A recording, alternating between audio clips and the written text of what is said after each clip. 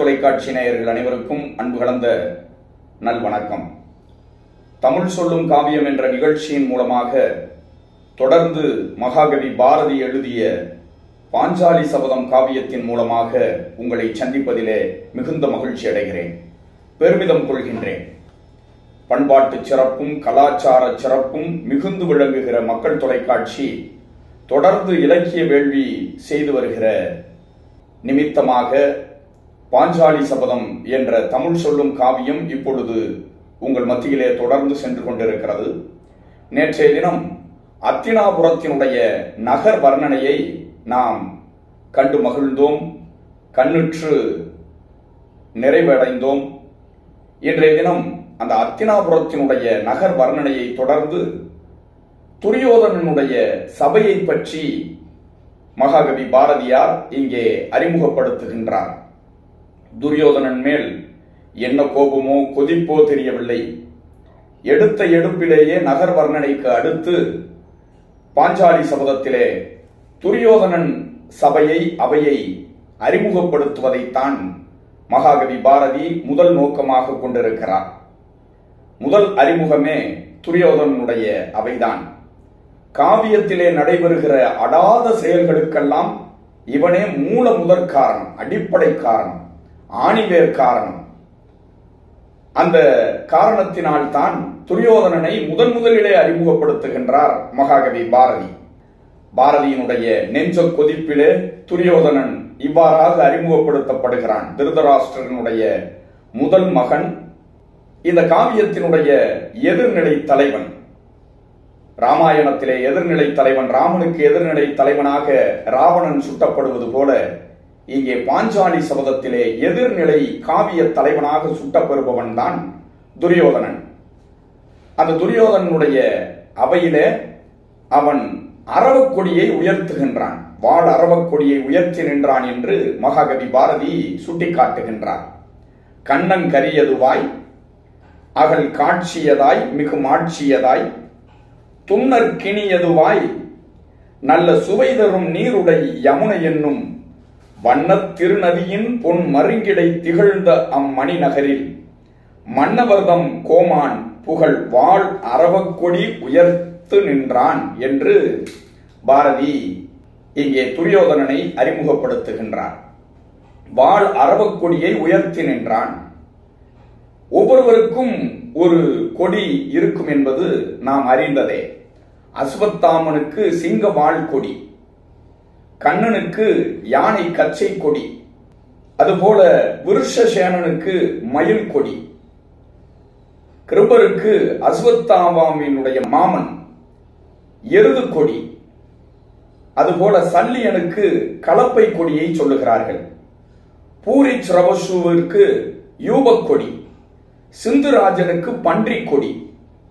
துரியோதனனுக்கு அரவக்கொடி அந்த அரவக்கொடியை உயர்த்தி நின்றான் என்று மகாகவி பாரதி சொல்லுகின்றார். இன்னும் பல கொடிகள் உண்டு.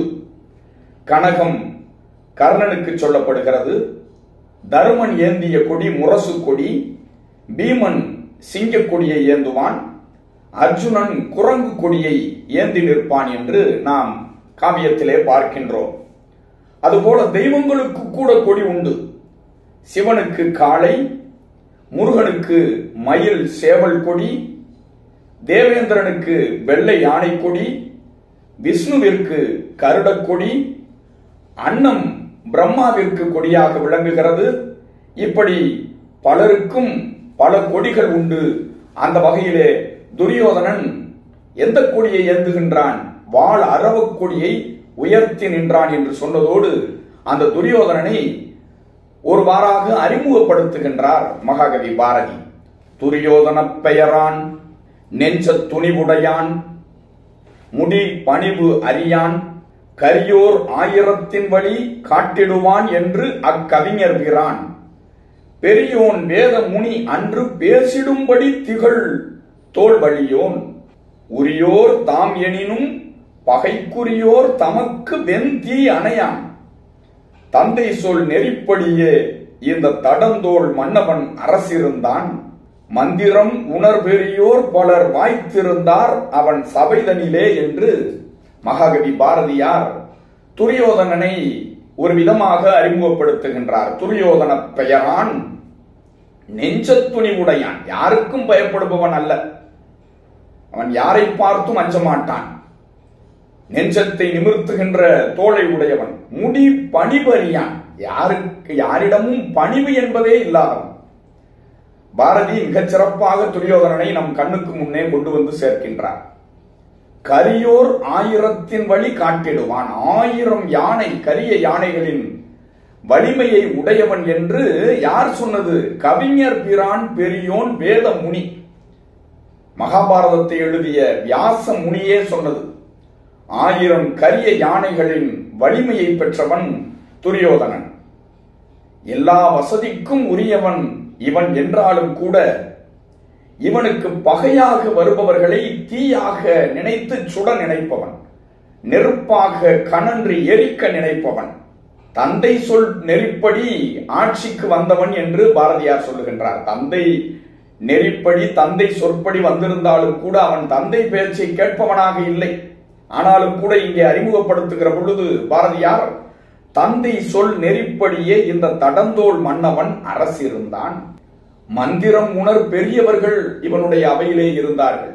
யார் யாரெல்லாம் இருந்தார்கள் என்பதனை நாளைய தினம் நாம் பார்க்க இருக்கிறோம். பலர் வாய்த்திருந்தார் அவன் சபையிலே அவனுடைய அவையிலே அவனுடைய சபையிலே அவைக்களத்திலே. யாரெல்லாம் நிறைந்திருந்தார்கள்? வேதம் உணர்ந்தவர்கள் மந்திரம் உணர்ந்தவர்கள் விற்பன்னர்கள் கலைவாணர்கள் அறிஞர்கள் முனிவர்கள் இவர்களெல்லாம் வீற்றிருந்தார்கள். ஆனாலும் அவர்களினுடைய பேச்சையெல்லாம் துரியோதனன் கேட்டானா? இல்லை. அவன் சபைதனிலே பலர் வீற்றிருந்தார்கள் அறிஞர்கள் வேதம் உணர்ந்தவர்கள் வீற்றிருந்தார்கள். யாரெல்லாம் துரியோதனனுடைய அவையிலே நிறைந்து வீற்றிருந்தார்கள் என்பதனை நாளைய தினம் நாம் காண்போமா? அதுவரை உங்களிடம் விடைபெறுவது முனைவர் பாகை கண்ணதாசன்.